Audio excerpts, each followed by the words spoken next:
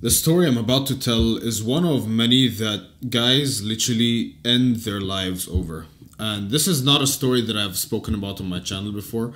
I've spoken about a lot of brutal, heart wrenching, gut wrenching stories, but this is probably one of those ones that some of you guys can relate to. And if you do, if you relate to this one, you know the pain. There was once a girl that I liked, and she started liking me first, right? This girl, it was in around high school, right? She started liking me and then I ended up liking her and we connected and we clicked hard speaking every single day go like going out and hanging out together in school all the time and the amount of text like you know when you have that one person you come back to and you're so ready to text every single day you just want to text and text and be with all the time and just speak to like that is your person. It's your person and you're pouring your heart out and you're watching movies together and you're laughing and you're thinking about what your kid's name is going to be like all this sort of stuff that you know ends up being meaningless. But in the moment we think it means everything. And that's exactly what happened to me we are speaking to this girl and everything and telling her like everything about me. My whole life was just open to her. And the relationship was going phenomenally. We were together for a long time. And then the days started passing and passing and passing. And eventually i ran out of stories to tell to tell the girl I ran out of stories to tell. I ran out of things to say to her. I ran out of the, the things to tell her that's new about my day. I ran out of things as it would. There's only so many things you can do in life. There's only so many things that you can tell the girl, yeah, I did this today. I did this today. I did this today. Or this is something about my past. There's only so much a person can learn about you. And slowly, something started diminishing. The days would go by and it would take her longer for her to respond to me. Before she would respond in seconds. And then it became minutes and then tens of minutes and then she'd respond in a couple of hours. And instead of talking throughout the day all the time we'd talk every couple of hours. And i knew i always knew something was up. There's there's always a gut feeling in my body that tells me something is about to happen with relationships. Guys you have this shit built into your your evolutionary code. When something is up you can tell and you can feel something is up. Literally feel that something is going on. And one day one of my friends he said yo bro are you and X, like, are you and the girl still together? And I'm like, yeah, man. Why? What's up? And he just looks at me. He's like, oh man, oh man. And then he proceeds to tell me that he saw her and another guy, like you know, on Snapchat stories when you like post stories. He saw like a story basically of her and him sitting together on like a little bench, and they were just out alone, and that like twisted and tore my heart into pieces.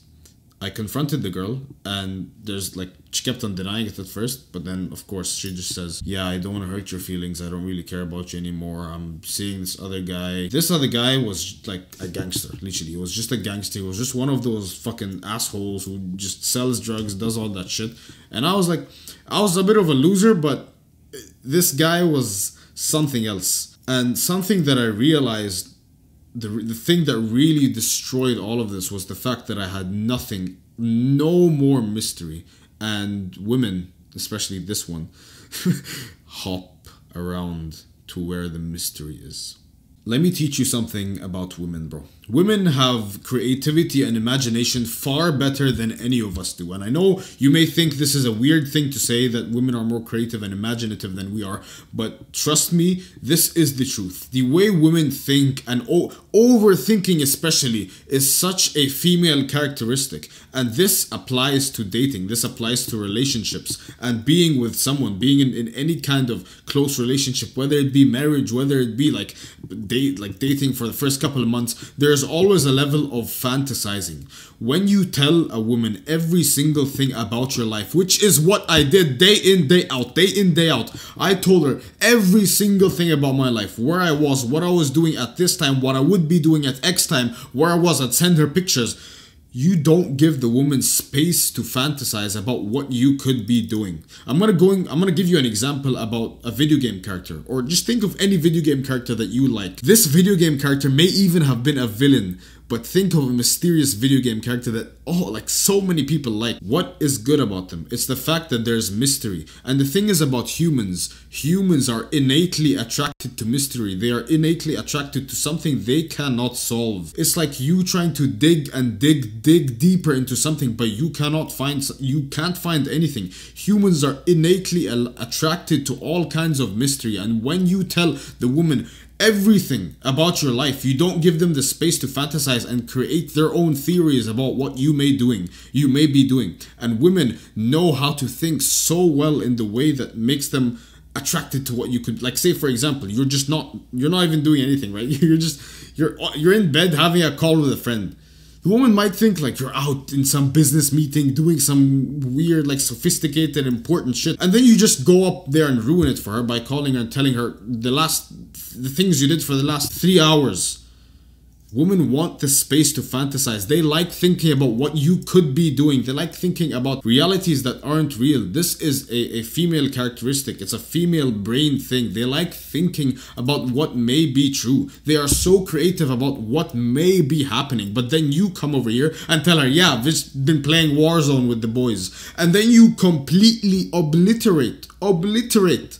all sense of mystique about you. There's nothing mysterious about you. You're not that cool video game character who nobody knows the past of. You're not that cool video game character who's masked, who you don't know his identity, who you don't know what his face looked like. You're no longer that cool person. The cool factor comes from the, the factor of mystery. Mystery has always been regarded as something cool cool because we don't understand and we want to dig. Humans are innately attracted to this and this specifically. It is things that we cannot have. When you chase something and it runs away from you, what happens? What happens? You chase harder. You can see this with animals. They chase, dogs chase, cats chase. They chase things that are almost within their grasp, but they just can't have it. People like to chase, especially women. They like to chase their own imagination, and then here comes you just ruining all of it and telling her about your entire day. Now, this may be seen as something that's not, you know, authentic. I'm not telling you to lie and say you're not doing things that you are or you're doing things that you aren't. I will never ever tell you to lie on this channel or be a bullshit kind of person.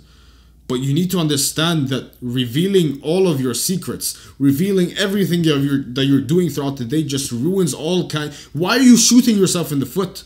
Genuinely, why are you shooting yourself in the foot? It's such an attractive trait to be mysterious and to have things that are going on in your life that people don't know about. That's why I always say work in the shadows, work in silence, grind in silence, do whatever it is in silence. You think I'm an open book by telling you this, by telling you my addictions, by telling you my past there are so many things you don't know about me, bro. There are so many things you don't know about me. I'm not trying to treat you like, you know, I'm trying to attract a woman or anything, but you understand the point. Now, the way to be authentic with this, the way to be truly mysterious in a way that doesn't come off as douchebaggy, because if you purposely reply six hours later to her text, she's gonna know you're being a dickhead. But if you're genuinely busy every single time, that's when it works. That's when she'll actually think, okay, what what's he doing? Could he be in a call with like the business partners? Maybe he's speaking to a woman. And I know it sounds like misogynistic, and you're making her overthink and and and psychologically torturing her. But again, it's the chasing thing. It's the chasing thing, and it's the thing that works. This is one of the red pill things that, again, I moved away from the red pill and everything, but it's not even red pill. It's it's more of the laws of the universe. People are attracted to what is hidden because they want discovery ever since the, the dawn of humanity, humans have had one goal explore, adventure, discover. And you are taking it away. You are cutting your limbs off. You are cutting every advantage you have off. And then you come and you wonder why she fucking cheats on you with that guy who's a gangster but he had some mystique to him. He wouldn't, of course, he wouldn't reply to her in six hours because he's busy selling drugs and, and meeting four other women and beating people up and just doing random shit. Now, I'm not telling you be like that person, but I'm telling you adopt one characteristic that he had, and it was the fact that he is actually mysterious because of this one thing, because he was actually busy. Now, how do you actually become busy? Well, you see time as a resource. Currently, it's 3:34 p.m. A lot of you, to put it frankly, a lot of the peasants that may be watching this video with no fucking goals in life may be watching this and simply thinking, yeah, it's 3.34 p.m. It's my time, 3.34. Maybe thinking, it's 3.34 p.m. I have, you know, there's seven hours left to the day. I can fuck around.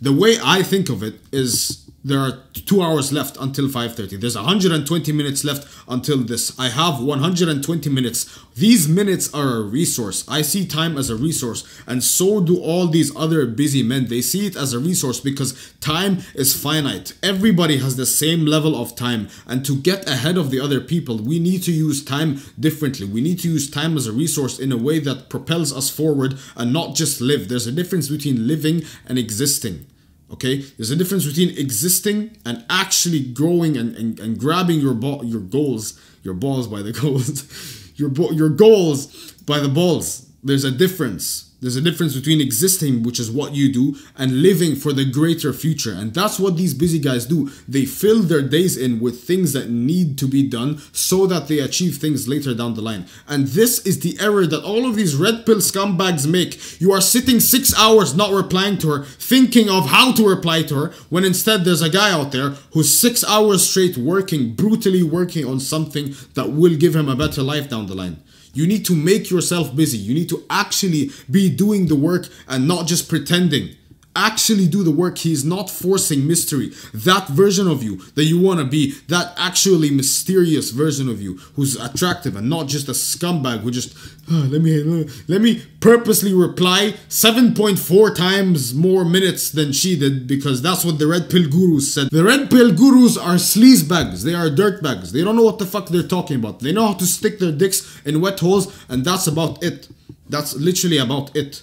But this expands to more than just women. This expands to people in your workplace. When people perceive you as a busy man, they will value your time more and you will get paid more for your time when you are a busier man.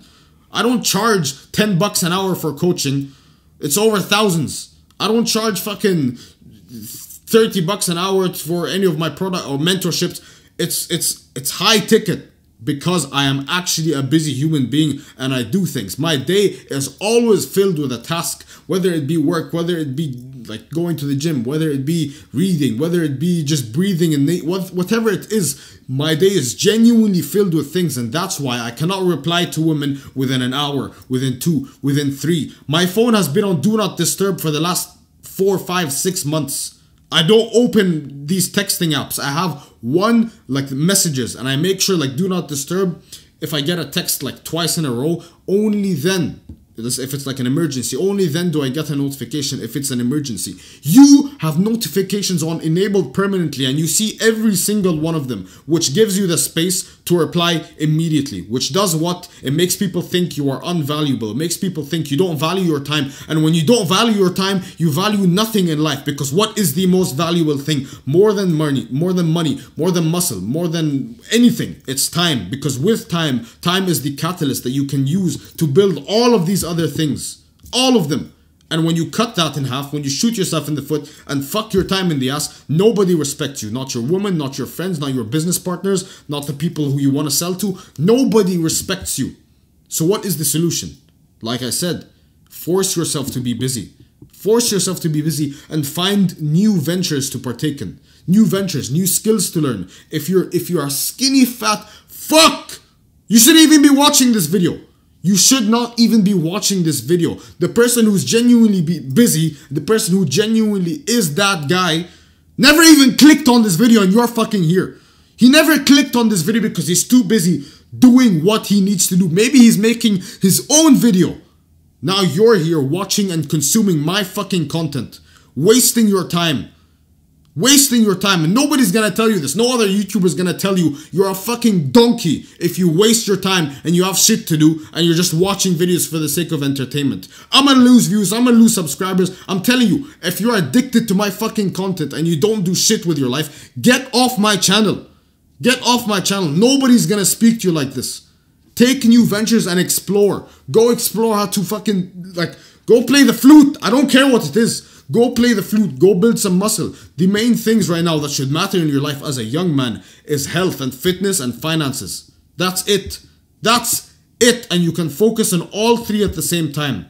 All three at the same time. You can focus on your health by focusing on diet and being in nature and being in the sun and having like drinking water and like that. Basically, that's it.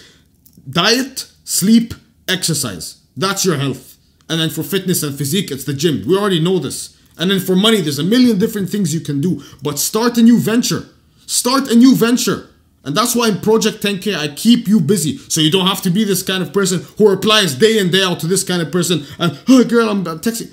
No, no, no, no. I keep you fucking busy to get you to the goal of 10K a month within six months. And I know that's not much, but it's a beginner thing. It's something you start with. So you're genuinely busy. You're not gonna have free time to bullshit around when you have goals. And that's what Project 10K gives you with a financial goal. It gets you to a financial goal. Fucking bit like with, with physique, get into the gym, learn whatever it is. But get into new ventures, man. Stop being the kind of guy who has unlimited free time. Because the hard times are coming. And matter of fact, the hard times have just begun. You already know what's happening. I don't want to speak about, you know, shit, but you already know what's happening in the East, the Middle East, in I won't go too deep into this because I'm gonna get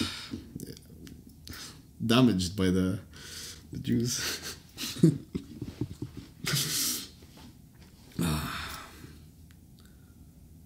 the world is a very big place, man. There are an unlimited amount of ventures you can partake in.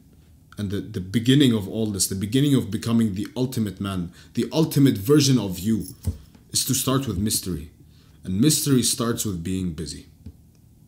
Wish not for a lighter load, but for a stronger back.